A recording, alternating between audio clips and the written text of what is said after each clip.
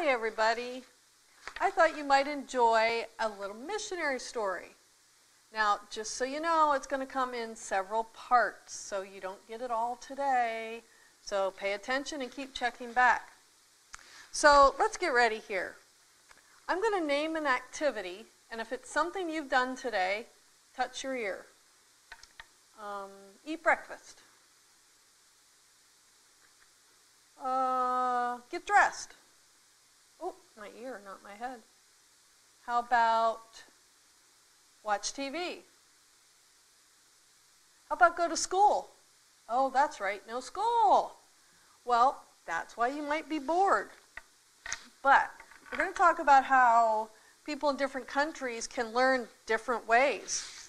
You normally go to school in a building, or some of you may go to school at home. On a computer right now, most of you may be doing online classes. But here's just some different pictures of different ways kids can learn. Some learn inside, some learn outside. Some are at home, away, all different ways. Some kids can't even go to school. Some kids have to stay home and learn how to plant seeds and grow them and harvest them. And I'm sure that's really hard work. But that's the way their life is. Even to the point that um, different ways that people do things. When we have supper, we all sit down together at a table, everything, have our food there and our plates and all that, and somebody sets the table and somebody clears the table. In some countries, they don't do that. And I mean, they really don't do that. Like, they're not inside, there's no table, there's no chairs, no dishes, no silverware. They all sit around, the whole village gets together, not even just one family. They sit on the ground and they have a big pot in the middle, and they just eat out of it with their hands and go back for more. Not many dishes to do, but it's not the way we're used to. Well, even though people do things very differently in many different countries, there are some common things that we all have. Let's think about that. You think really hard, think of one in your head, and tell somebody that's next to you. Then I'll give you one. Think, how about we all need air? Uh, we all need food. How about water? But the main thing that everybody needs is to hear what Jesus did for them and accept him as their Savior. That's why missionaries go to other countries, or some even are, people are missionaries here. What is a missionary? Well, there are different kinds of missionaries. Some pack, take their family, pack up their whole house, and they move to a different place in the United States or even a different faraway country, and some of them even far out villages that we would never even know about. And they live there and their job is to reach these people and tell them about Jesus and to get a church started if possible. Some missionaries take their family and they may move to another country or somewhere and get a job in a factory or maybe teaching. And through that, they get to know people and then they're able to share the gospel with them. And there are missionaries like right here, like watching this video. You can be a missionary. You can tell others about Jesus. That's what it really is telling others what Jesus did for us. So today we're going to hear a story that is a true story. So you know that happened a long time ago, but it is a true story.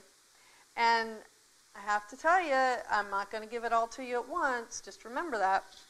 So you have to keep checking back.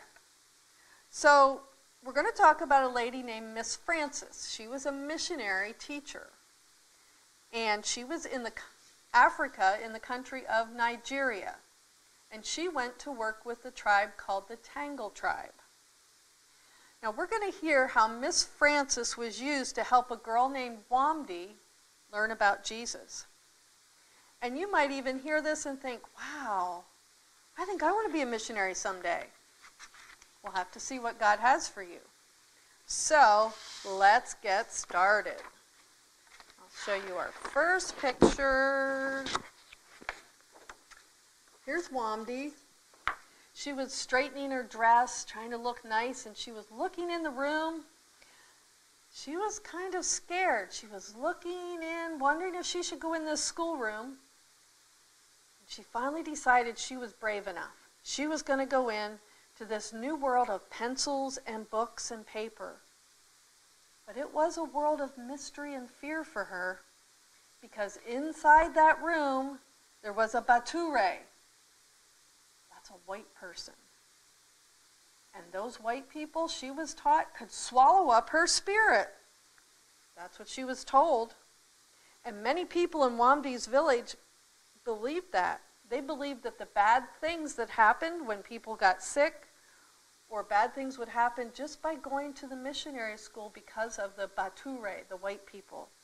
If you talk to them, you might get sick, you might family might get sick. You don't they didn't know, they just believed that these this God, a false God, would do bad things to them.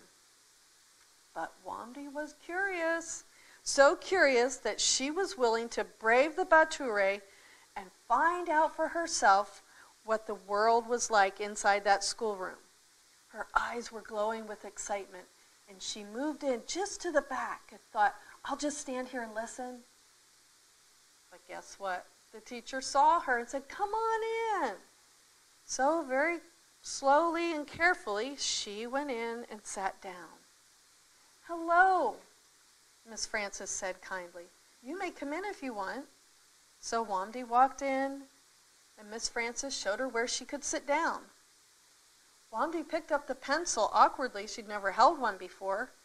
And she thought about the bad things she heard could happen to her if she talked to this missionary.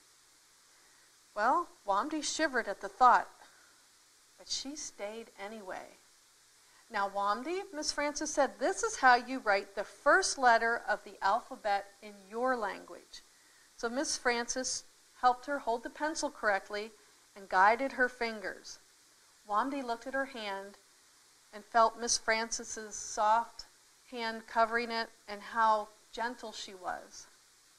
Forgetting how afraid and shy Wamdi was, she smiled at Miss Francis. Miss Francis smiled back. Before Wamdi left, Miss Francis invited her to come back in the next day. So, will Wamdi go back to see Miss Francis again and go to school?